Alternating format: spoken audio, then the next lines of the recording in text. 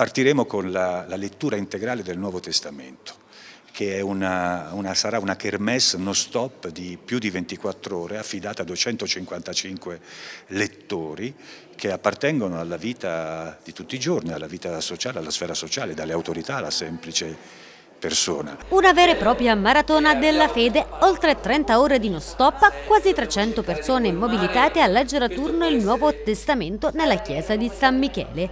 Prenderà così avvio sabato 2 marzo il Festival dello Spirito.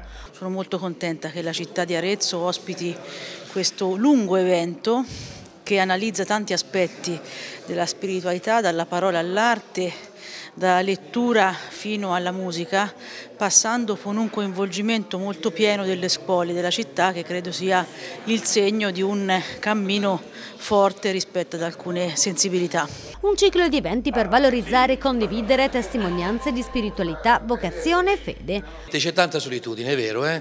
Ehm, fra i giovani, fra gli anziani e penso che questa pandemia ha accentuato eh, questo problema. Allora è importante che riusciamo a uscire e a tirare fuori anche di casa chi è più restio per eh, creare dei momenti eh, di incontro come anche questo festival. Tra gli appuntamenti più attesi quello di sabato 9 marzo quando alle 17 la città verrà invasa da quasi 500 coristi per un grande concerto nella cattedrale di Arezzo. Il Festival dello Spirito vuole essere un'occasione per eh, una meditazione sul messaggio della parola, declinata in, in, vari aspetti, in tutte le sue manifestazioni e anche all'ascolto della, della, musica liturgica eh, attraverso un concerto che ci sarà il 9 marzo in cattedrale con eh, il maestro Fisina e la partecipazione di diciamo, la stragrande maggioranza dei cori della parrocchia è prevista eh, la partecipazione di oltre 450 coristi che, che si esibiranno in questo concerto che credo sarà un evento unico nel suo genere.